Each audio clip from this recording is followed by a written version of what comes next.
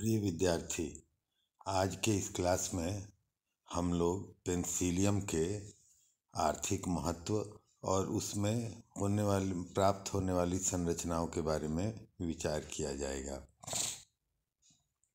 Penicillium को एक common name blue या ग्रीन मोल्ड के नाम से भी जाना जाता है। यह ब्लू या ग्रीन कलर इसमें बनने वाले इसके माइसिलियम पे जो कोनिडिया होता है, उसके कलर के कारण होता है। यह एक सैप्रोफिटिक फंजाई है। तात्पर्य यह है कि it feeds on dead material जो डाइंग डिकम्पोजिंग ऑर्गेनिक मैटर है, वहाँ पर यह ग्रो करता है। They are economically produce cheese organic acid and antibiotic antibiotic penicillin का आप लोगों ने नाम सुना होगा। यह पेंसिलिन एलेक्जेंडर फ्लेमिंग के द्वारा डिस्कवर किया गया था, जिस जिस प्लांट से या जिस फंजाई से वह है पेंसिलियम नोटेटम। आगे चल के उसका नाम पड़ा पेंसिलियम क्राइसोजेनम। पेंसिलियम रॉकफोर्टाई के द्वारा चीज़ का निर्माण होता है। उसे ब्लू चीज़ का, के रूप, के नाम से जाना जाता है। उस चीज़ को ब्लू चीज़ के नाम से जाना जाता है और पेंसिलियम का जो स्पेसीज है, वो है पेंसिलियम रॉकफोर्टाई। ये डिकम्पोजर के रूप में क्योंकि ये ग्रीन होते नहीं हैं, फंजाई हैं तो ये डिकम्पोजिशन करके ही अपना न्यूट्रिशन और एनर्जी पाते हैं। तो इस वजह से यह एक स्कैवेंजर है, अर्थात सफ़ाई कर्मी है। जो भी ऑर्गेनिक मैटर कहीं है तो उस पर ये ऑर्गेनिज्म जो डिकम्पोजर है, वो लगते हैं। और इस प्रकार से वह इकोसिस्टम में मटेरियल की साइकिलिंग कर देते हैं। जो मटेरियल ऑर्गेनिक मैटर में बंधा पड़ा है, उसकी साइकिलिंग हो जाती है, वो छोटे छोटे खंडों में विभाजित होकर मालिकुल्स में, फिर सॉइल में वो न्यूट्रिशन वापस चला जाता है। यह सॉइल में एयर में और डिकेइंग फ़ूड में भी प्राप्त होगा। अब एयर का मतलब यहाँ ये है कि उसके स्पोर्स एयर में पाए जाएँगे।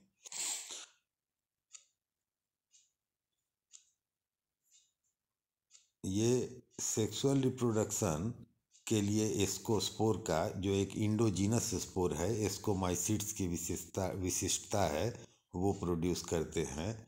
अच्छा इन्हें पेंटर्स ब्रश भी कहा जाता है। इसका कारण ये है कि जो इनका कोनिडिया लगता है, वह चेन में लगता है और यह कोनिडियोफोर पर विकसित होता है। कोनिडियोफोर अनेक बार ब्रांचिंग उसमें हुई रहती है। और उन ब्रांचिंग से एक समूह का निर्माण होता है और वह समूह देखने में पेंटर के ब्रश के समान दिखता है, इसलिए पेंटर्स ब्रश के नाम से भी यह जाना जाता है। तो ए सेक्सुअल रिप्रोडक्शन इनमें कोनिडिया के द्वारा होता है। कॉमन स्पेसीज में मैं बताया पेंसिलियम नोटेटम और क्राइसोजेनम है और रॉकफोर्टाई का नाम दिया ब्लू चीज़ के लिए तो ये कुछ उसके महत्वपूर्ण स्पेसीज हैं।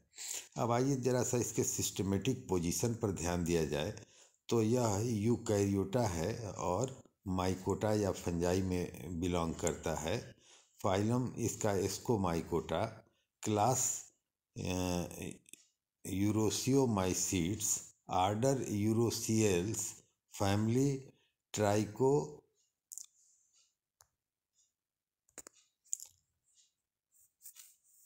tri, tricho tricho Trichocomaceae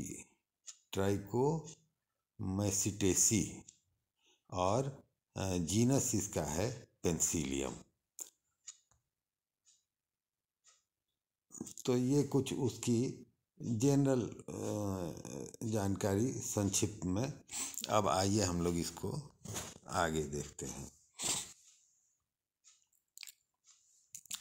इसमें तीन चित्र है हमारे पास। एक जो नीचे में है, यह दिखाई दे रहा है।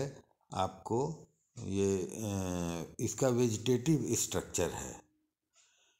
और दाहिने तरफ़ ऊपर में जो चित्र है, वह इसका पेंटर्स ब्रश जो मैं अभी बताया था, वह ए सेक्सुअल रिप्रोडक्शन का स्ट्रक्चर है कोनिडियो फोर और उसके एसोसिएटेड और भी ढेर सारे अलग अलग लेवल पे स्ट्रक्चर रैमी और मेटुले और फिलाइट्स और उसके बाद चेन ऑफ़ कोनिडिया। तो ये स्ट्रक्चर्स उसमें हैं। और यह जो नीचे वाला स्ट्रक्चर है, दाहिने तरफ़, यह स्ट्रक्चर उसके लाइफ साइकिल को भी रिप्रेजेंट करता है। और चूँकि यह साइक्लिक फॉर्म में है तो यह लाइफ साइकिल को भी रिप्रेजेंट करता है। और ए सेक्सुअल स्टेज इसके अपर पार्ट में है और लोअर पार्ट में इसमें सेक्सुअल स्टेज को दिखाया गया है। ये हम लोग पुनः देखेंगे आगे चल के। तो चलिए, अब हम लोग इसकी संरचना पे विचार करते हैं। तो संरचना में पेंसिलियम में माइसीलियम होता है जो कि सेप्टेट होगा और यह मल्टी सेलुलर होता है। सेप्टेट होने से यह मल्टी सेलर होता है और इतना ही नहीं, यह मल्टी न्यूक्लिएट भी होता है। ईच सेल में अनेक न्यूक्लियाई होंगे। Mycelium is highly branch septate multinucleate cell wall is made of glucose, polysaccharide and chitin. तो सेल वाल काइटीन का बना रहेगा। Central pore present in the septa. और conidiophores are at branch end with with conidiophore produced as reproduces asexually and exogenously conidia is produced. इस पर conidia कैसे बनेंगे? तो ये इक्सोजीनसली बाहर में बनेंगे। कोनिडिया एक चेन में बनते हैं और यह चेन जो है वह बेसी पेटल सक्सेशन कहा जाता है। अब ये बड़ी महत्वपूर्ण चीज़ है। बेसी पेटल सक्सेशन का तात्पर्य होता है कि जो ओल्डर कोनिडिया हैं, वो तो टॉप पर पाए जाएँगे और जो यंगर है, वो नीचे क्रम से और यंगर और यंगर नीचे की ओर पाए जाएँगे। इससे लाभ उसको ये होता है कि ओल्डर वन जब मैच्योर हो जाएँगे तो वो डिटैच हो गए और तो भी नीचे वाले अपना बनते रहेंगे। तो कोनिडिया इसमें बेसी पेटल सक्सेशन में होते हैं और उसका मतलब है कि youngest at the base. Conidia are on specialized cell, phialides. Present on conidiophore तो फिलाइट्स क्या है? ये इसका एक अल्टरनेटिव नेम स्टेरिगमाटा भी कहा जा सकता है। और यह ध्यान रहे कि फिलाइट को फ्लास्क सेप्ट कहते हैं, या फ्लास्क सेप्ट या एकदम ठीक बोतल की तरह रहेगा। बोतल में ऊपर में नैरो नेक होता है तो इस प्रकार फिलाइट भी ऊपर में आके नैरो हो जाएँगे और तब फिर वहाँ पर कोनिडिया का निर्माण होगा। एक्चुअली कोनिडिया का निर्माण फिलाइट से ही होता है उस पर पहले बल्ज निकलता है और उस बल्ज में न्यूक्लियस चला जाता है, डिवाइड होके। और फिर वह कोनिडिया का निर्माण करता है। और फिर यह प्रक्रिया बार बार होते रहती है और इस प्रकार से चेन का निर्माण हो जाता है। और आरंभ में जो बेस के आधार पे है, वह कोनिडिया जो बनेगा, वह छोटा होता है। देखिए, यह चित्र में स्पष्ट है। अब देखिए, इसकी कोनिडियो फोर, यह नीचे से जब चल रहा है, वर्टिकल यह ग्रो किया। इसका माइसिलियम देखिए कैसा रहेगा? तो यह सरफेस पर प्रोफ्यूजली ब्रांच्ड रहेगा। Profusely branch cylinder cylindrical tubular structure जो कि सेप्टेट होगा, जिसमें अनेक न्यूक्लियाई होंगे। तो यह माइसिलियम किस प्रकार से रहेगा? तो यह सरफेस पर पाया जाएगा। और डाउनवर्ड वहाँ से नीचे की ओर, जहाँ तहाँ, मैंने कहीं कहीं हाइफा निकलेंगे और वो सबस्ट्रेटम के अंदर जाएँगे और वहाँ से जाके नरिशमेंट को वो लेते हैं।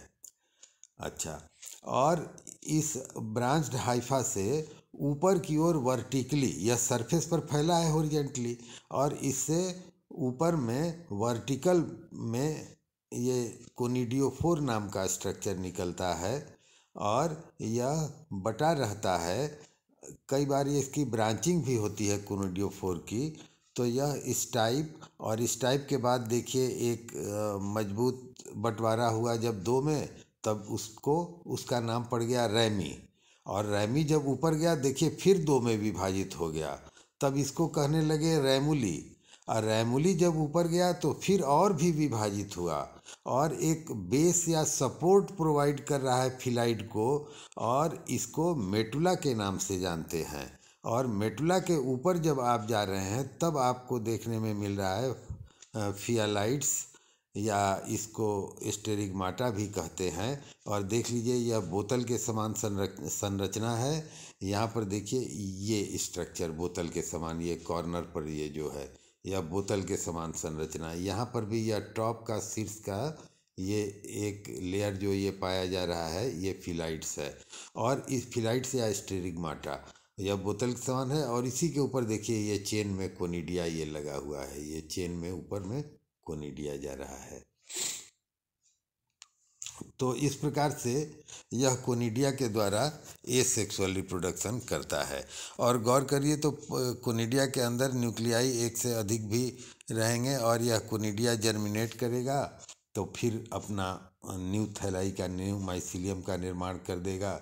और यदि इसमें न्यूक्लियाई एक से अधिक है तो यह मल्टी न्यूक्लियट बनाएगा और एक भी होने की स्थिति में भी यह माइसिलियम में जब कन्वर्ट होगा हाइफा बनेगा तो वह हाइफा अवश्य ही मल्टी न्यूक्लिएट होगा। तो ये बात ध्यान रखना है, ये इसका ए सेक्सुअल रिप्रोडक्शन है।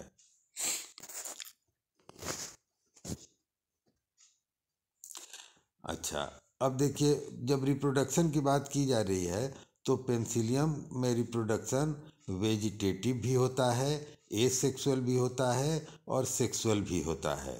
वेजिटेटिव रिप्रोडक्शन इसमें फ्रैगमेंटेशन के द्वारा होता है। कहीं से खंडित हुआ तो वह खंडित पार्ट भी ग्रो करके पूरा माइसिलियम बना लेगा। यह वेजिटेटिव रिप्रोडक्शन है। अब ए सेक्सुअल रिप्रोडक्शन जैसा कि अभी हम लोगों ने चर्चा किया, वह कोनिडिया के द्वारा होता है। कोनिडिया फिलाइट पे डेवलप होता है फ्लास स्ट्रक्चर इन सब चीज़ों की बात हम लोग कर चुके हैं। कोनिडिया का रंग ब्लू या ग्रीन हो सकता है, यह ओवल शेप का होता है, और मैच्योर जब होता है तो यह डिटैच होता है, और विंड के द्वारा डिस्पर्स होता है, हवा के द्वारा यह फैलता है। और इसमें आगे जैसा पहले भी बताया था कि ये जर्मिनेट करेगा सुटेबल सबस्टेटम पे और फिर उसके बाद इसकी न्यूक्लियाई में पहले फ्री न्यूक्लियर डिवीज़न होगा तो अनेक न्यूक्लियाई बन जाएँगे और फिर वो सेप्टा ले डाउन होगा। तो सेप्टा एक एक न्यूक्लियाई पे नहीं होगा सेप्टा ले डाउन होगा तब अनेक न्यूक्लियाई एक सेल के अंदर बनेंगे। तो इस प्रकार से यह नया माइसिलियम का निर्माण करेगा ए सेक्सुअल रिप्रोडक्शन अब देखिए यहाँ पर ए सेक्सुअल सेक्सुअल रिप्रोडक्शन और माइसिलियम का स्ट्रक्चर कोनिडिया का जर्मिनेशन फ्रूटिंग बॉडी क्लिस्टोथीसियम और एस्कोस्पोर का निर्माण, ये सारी चीज़ें इस तस्वीर में दिखाई गई है। अब यहाँ पर आप गौर से यदि देखेंगे तो माइसिलियम से सेक्सुअल रिप्रोडक्शन के लिए यहाँ लिखा हुआ है एंथ्रीडियम, एस्कोगोनियम और यह एंथ्रीडियल ब्रांच है। यह सामान्य तौर से होमोथैलिक होता है, पर होमोथैलिक के अलावा हेटेरोथैलिक भी हो सकता है। और यह इसमें female sex organ ascogonia, male sex organ antheridia है। और एंथ्रीडिया जो है वह क्वाइल होता है एस्कोगोनियम के चारों तरफ़। जैसा कि दूसरे चित्र में है, नीचे वाले दूसरे चित्र में, और उसके बाद एस आई और क्लिस्टोथीसियम का निर्माण दिखाया गया है, उसके बाद एस्कोस्पोर बनेगा और एस्कोस्पोर आठ की संख्या में बनेगा, यह जर्मिनेट करके फिर माइसिलियम बना देगा।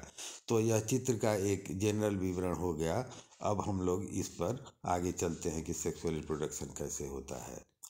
पर सेक्सुअल रिप्रोडक्शन में आने के पहले यह एक महत्वपूर्ण बात सामने हम लोग के अवश्य आ जाना चाहिए कि पेंसिलियम को यह माना जाता रहा है सेंचुरी भर से मतलब वर्षों वर्षों से। सौ साल के समय में कि यह जो है, कोनिडियल फॉर्म से ही यह मल्टीप्लाई की, करता है और सेक्सुअल फ़ेज़ इसमें नहीं होता है। परंतु लेटेस्ट में 2013 में जो फाइंडिंग्स आई है उसके बोहन नाम के वैज्ञानिक हैं, B O H N, Bohn et al. इन्होंने 2013 में इनका पेंसिलियम में सेक्सुअल रिप्रोडक्शन दिखाया और अब टोलेरोमाइसिस जो करके होता था, इसका परफेक्ट स्टेज वह परफेक्ट स्टेज या सेक्सुअल स्टेज अब वो अलग मान लिया गया और यह आर्टिफिशियली भी स्पेसिफिक कंडीशन में सेक्स ऑर्गन डेवलप करने के लिए बाध्य किया जा चुका है कल्चर के दौरान। तो उसके लिए कुछ इसमें आवश्यक कंडीशन प्रोवाइड करना पड़ता है और वह है कि इसे डार्क फ़ेज़ दीजिए, under O two deprivation, oxygen की जहाँ कमी हो, टेम्परेचर पंद्रह डिग्री सेंटीग्रेड हो और ओट मिल मीडियम हो, ओट का मीडियम हो, ओट एक ग्रेन है तो तीन सप्ताह में इसमें सेक्स ऑर्गन विकसित होंगे और वह एस्कोगोनियम और एंथ्रीडियम के नाम से जाना जाएगा और यह दिखता है और इसके साथ क्लिस्ट क्लिस्टोथीसियम भी बनता है। इस प्रकार से सेक्सुअल रिप्रोडक्शन पेंसिलियम इटसेल्फ में डिस्कवर किया जा चुका है 2013 के बाद। वैज्ञानिक का नाम Bohn B O H N Bohn et al. इन्होंने ये बात स्पष्ट किया था। चलिए ठीक है। तो इस नई जानकारी के साथ हम लोग अब इसके सेक्सुअल रिप्रोडक्शन पे विचार करते हैं। कुछ स्पेसीज इसमें होमोथैलिक होते हैं और कुछ हेटेरोथैलिक भी होते हैं। ऊगैमस टाइप का सेक्सुअल रिप्रोडक्शन होता है। मेल और फीमेल सेक्स ऑर्गन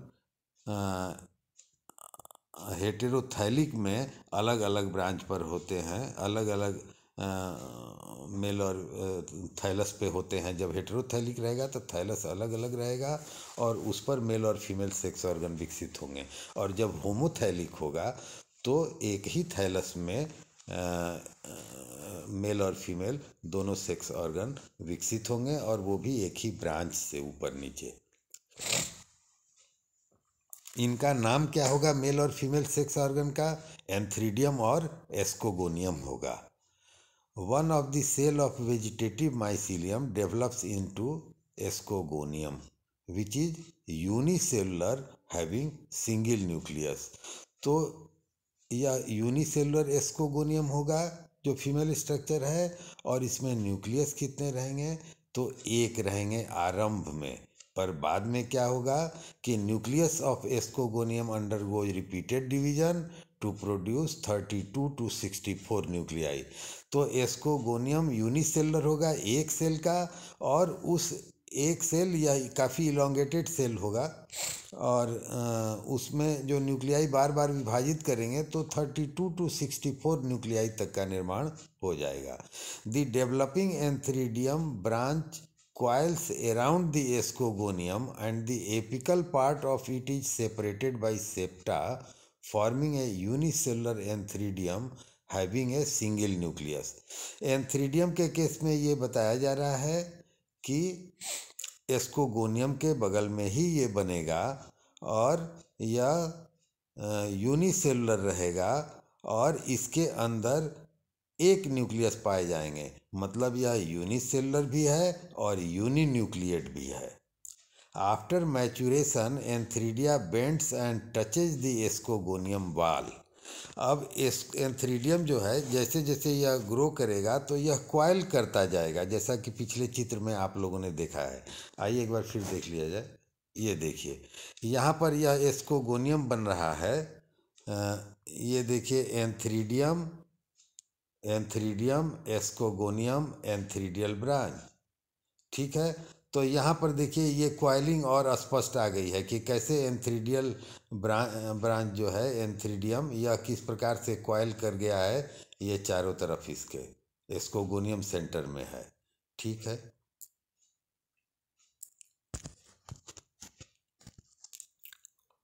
अच्छा जिस जगह पॉइंट ऑफ़ कांटेक्ट रहेगा, इसके टिप वाले भाग का, उस जगह से वाल डिजॉल्व हो जाएगा, जो दोनों के बीच का वाल, इसको इंटरविनिंग वाल कहते हैं इंटरविनिंग वाल, वो डिजोल्व हो जाएगा। और cytoplasm of both cell get intermixed तो साइटोप्लाज्म दोनों का मिक्स हो जाएगा। और इस प्रोसेस को कहते हैं प्लाज्मोगैमी आप जानते हैं कि सेक्सुअल रिप्रोडक्शन को तीन भाग में बांटा जाता है तो कहा जाता है प्लाज्मोगैमी कैरियोगैमी और मियोसिस ठीक है? तो इसमें प्लाज्मोगैमी का काम यहाँ होता है, परंतु कैरियोगैमी यहाँ नहीं होता है अभी। कैरियोगैमी आगे चल के होगा, वो पोस्टपोन्ड हो जाता है कुछ समय के लिए। तो उससे होता क्या है कि डाई कैरियोटिक दो अलग अलग प्रकार के न्यूक्लियाई एक जगह है, मान लीजिए। तो ये न्यूक्लियाई डाई कैरियोन का निर्माण कर देते हैं। और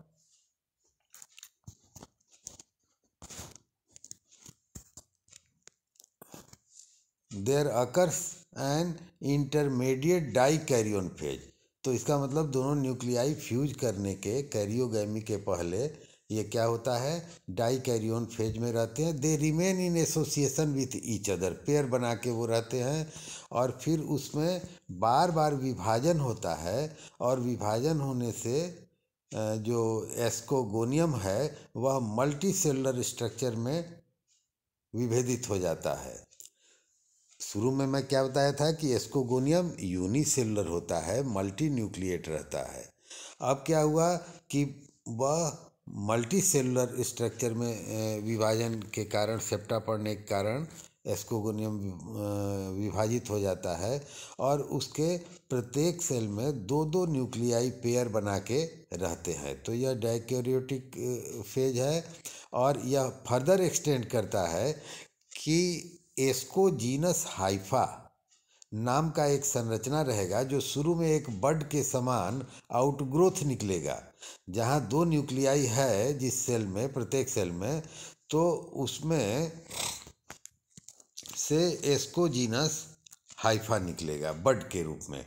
और वह बड बार बार सेप्टेशन से फिर आगे बढ़ता जाएगा, विभाजन होगा सेल का, और इस प्रकार से वह बनाएगा एस्कोजीनस हाइफा। तो एस्कोजीनस हाइफा कहाँ से निकला? एस्कोगोनियम से निकला।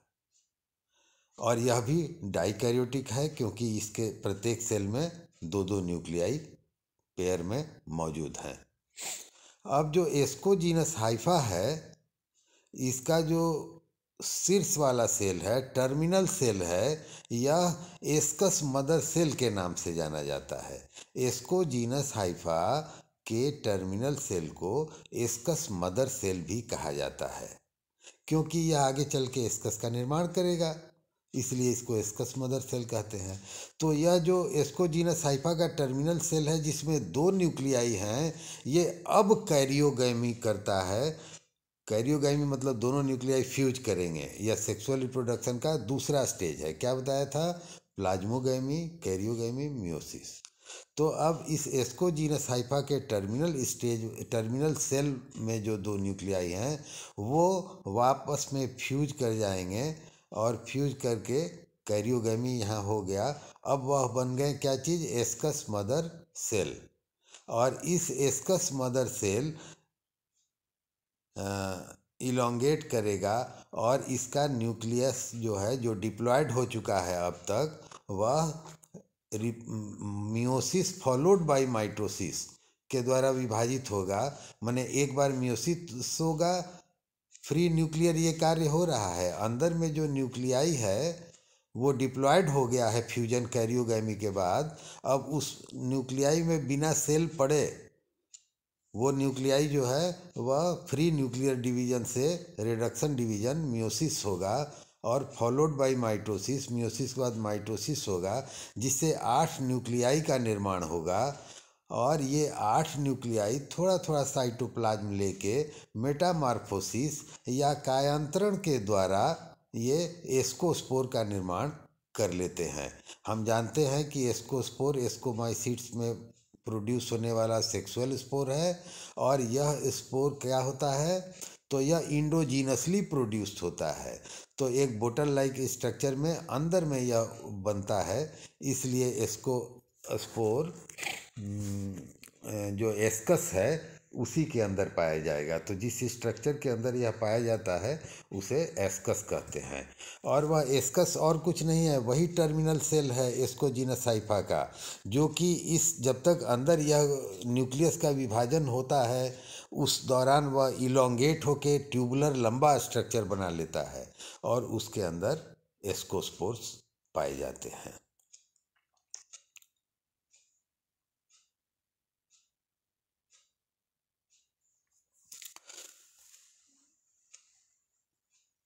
और इसमें जो और भी स्टेराइल सेल्स हैं, वो सारे स्टेराइल हाइफा, वो सारे कवर करता हुआ एक गोला बॉल हेयरी बॉल, जिस पर कि कुछ स्ट्रक्चर फिलामेंट के समान निकले रहेंगे पतले पतले हेयर लाइक अपेंडेज के नाम से जाना जाता है। यहाँ पर इसका नाम जो हेयर लाइक स्ट्रक्चर निकले रहते हैं बॉल पर, उसको कहते हैं अपेंडेज अब बॉल क्या है? तो बॉल क्लिस्टोथीसियम है। इसमें क्लिस्टोथीसियम का मतलब जो ऐसा एपोथेसियम जो कि क्लोज्ड हो, बंद हो, उसमें कुछ बाहर निकलने का रास्ता न हो तो इस प्रकार से यह क्लिस्टोथीसियम नामक फ्रूटिंग बॉडी अथवा एस्कोकार्प का निर्माण पेंसिलियम करता है, जो कि अपेंडेज्ड होता है, उस पर हेयर लाइक स्ट्रक्चर पाए जाते हैं। अंदर में एस्कस और एस्कोस्पोर पाए जाएँगे। बाहरी दीवार को पेरिडियम कहा जाता है। अब सवाल है कि जब ये बॉल लाइक क्लिस्टोथीसियम स्ट्रक्चर है तो इससे अंदर में बने हुए एस्कोस्पोर बाहर कैसे निकलेंगे? तो देखिए, इसके दो लाभ हैं। पहली बात तो ये है कि यह चारों ओर स्टेराइल हाइफा वगैरह से कवर होके क्लिस्टोथीसियम बाल लाइक स्ट्रक्चर का निर्माण हुआ तो यह एडवर्स कंडीशन से बचाता है एस्कोस्पोर को। यह पेरिनेट करने में मदद करता है। अनफेवरेबल पीरियड को पार करने में उसे पेरिनेशन कहा जाता है। तो अब समस्या यह है कि ये तो एक लाभ ये पहुँचा दिया, अब लेकिन एस्कोस्पोर बाहर कैसे निकलेगा? तो एस्कोस्पोर के बाहर निकलने की प्रक्रिया यह है कि डिकेइंग होता है, क्लिस्टोथीसियम रप्चर करता है डिकम्पोजिशन के कारण टेम्परेचर बढ़ेगा, घटेगा मॉइस्चर मिलेगा, फिर ड्राई होगा, फिर मॉइस्चर मिलेगा। जब वह नेचर में पड़ा हुआ है पेरिनेट करते हुए जब समय व्यतीत कर रहा है तो वैसे समय ऐसे फोर्सेज के कारण उसमें क्या होगा कि वह ब्रेक होगा और डिकम्पोज करके, और जब ब्रेक होगा वह, तब उसमें से एस्कोस्पोर बाहर निकलेंगे। और जब एस्कोस्पोर बाहर आते हैं, ये फोर्सिबली डिस्चार्ज होते हैं और बाहर आके, और फिर ये जब सूटेबल सबस्टेटम पे फॉल करते हैं तो फेवरेबल कंडीशन में यह जर्म ट्यूब के द्वारा ग्रो करेंगे, और फिर मैच्योर ब्रांच करेंगे हाइफा बनाएँगे, फिर माइसिलियम बनाएँगे। तो इस प्रकार से इसमें सेक्सुअल रिप्रोडक्शन होता है। तो हमने देखा कि मियोसिस कब हुआ कैरियोगैमी कब हुआ, और प्लाज्मोगैमी कब हुआ। और इस प्रकार से यह ऊ गैमस टाइप का सेक्सुअल रिप्रोडक्शन दिखाता है। इसको स्पोर मियोटिक प्रोडक्ट है मियोसिस के बाद। और एस्कस मदर सेल में कैरियोगैमी होता है। और जब एस्कोगोनियम एंथ्रीडियम रहते हैं तो उस समय फिर उनमें प्लाज्मोगैमी होता है। तो यह तो इसका जीवन चक्र हुआ, संरचना हुआ क्लासिफिकेशन हुआ इस प्रकार से। पर आइए अब साध के हम लोग देखा जाए कि इकोनॉमिक इम्पोर्टेंस इसका क्या क्या है। क्योंकि आपके सिलेबस में आर्थिक महत्व पर विशेष ध्यान दिया गया है। Life cycle and economic importance they produce organic acid antibiotics and mycotoxin भी। दूसरा पॉइंट है चीज़। हमने रॉकफोर्टाई का नाम बताया था, ब्लू चीज़ कहा जाता है। तो many penicillium species are used in producing cheese. तो रॉकफोर्टाई के द्वारा ब्लू चीज़ बनता है और camemberti forms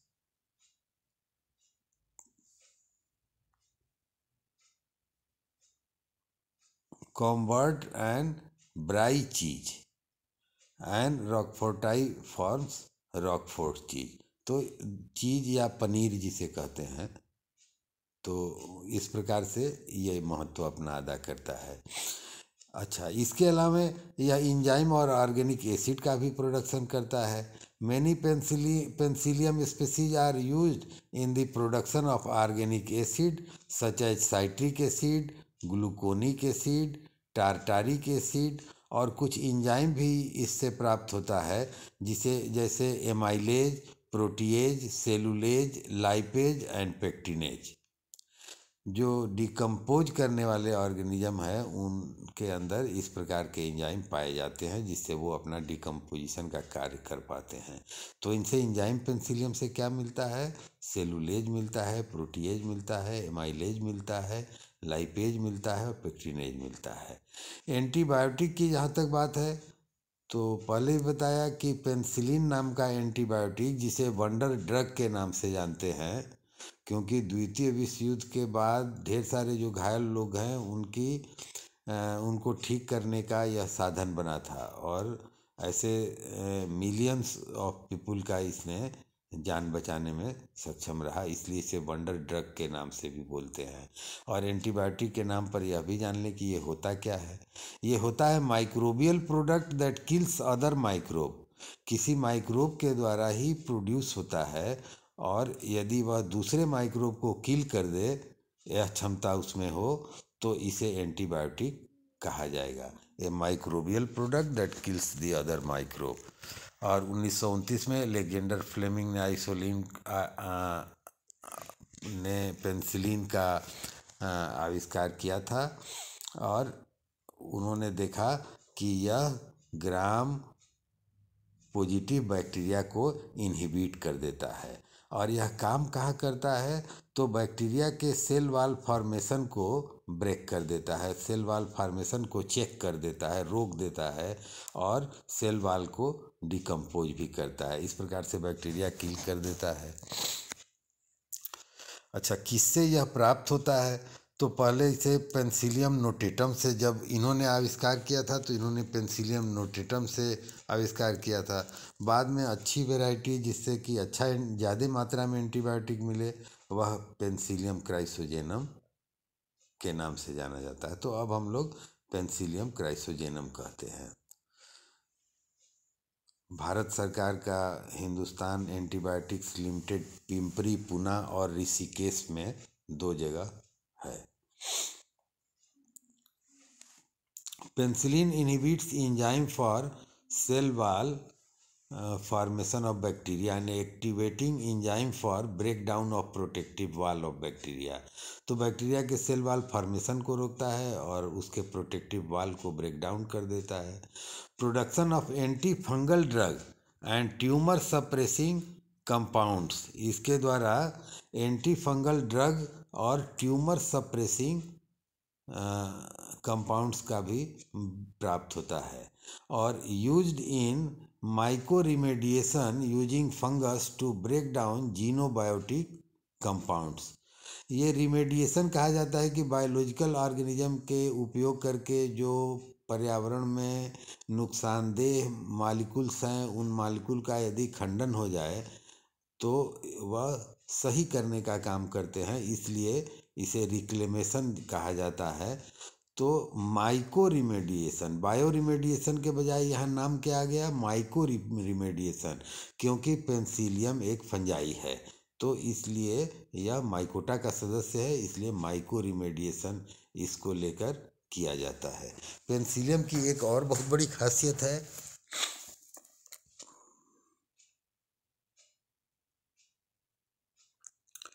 पेंसिलियम से ब्रेवी कॉम्पैक्टियम नाम का एक कंपाउंड प्राप्त होता है, जो कि इम्यूनो सप्रेसेंट है।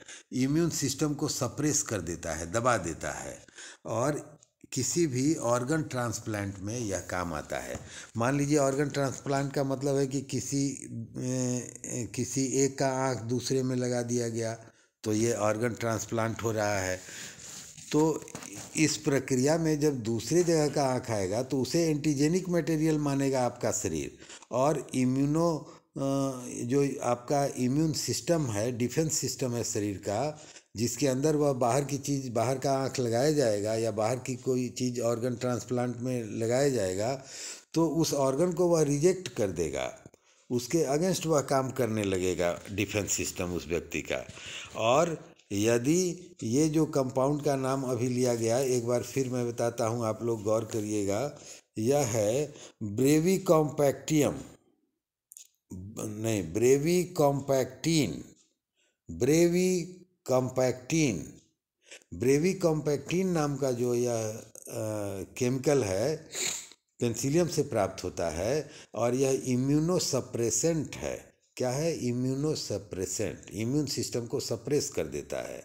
तो इससे ऑर्गन ट्रांसप्लांट दूसरे का, दूसरे में जब लगाया जाता है तो वहाँ पर उसका रिजेक्शन की संभावनाएँ नगण्य हो जाती है।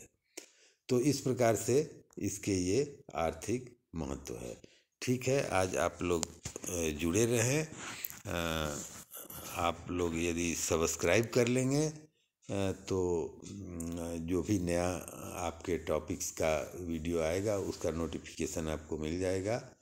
तो इफ़ आपको यदि अच्छा लगा तो आप लाइक भी करें और शेयर भी करें। अपने दोस्तों को भी बताएँ, जिन्हें नहीं पता है कि वो यहाँ से जुड़ के और अपने टॉपिक्स को समझ सकते हैं। आप लोग को कहीं कोई कन्फ्यूज़न हो रहा है तो उसको आप लोग कमेंट बॉक्स में लिखें और उसका भी जवाब वहाँ पर उपलब्ध करा दिया जाएगा। और जब डायरेक्ट इंटरेक्शन होगा क्लास में, अब तो वहाँ पर भी उसको दूर किया जाएगा। तो आप कमेंट बॉक्स में डाल के वहाँ पर भी क्विक रिस्पांस पा सकते हैं। तो आप लोग जुड़े, आप लोगों ने सुना इसके लिए आप सभी को धन्यवाद। Thank you very much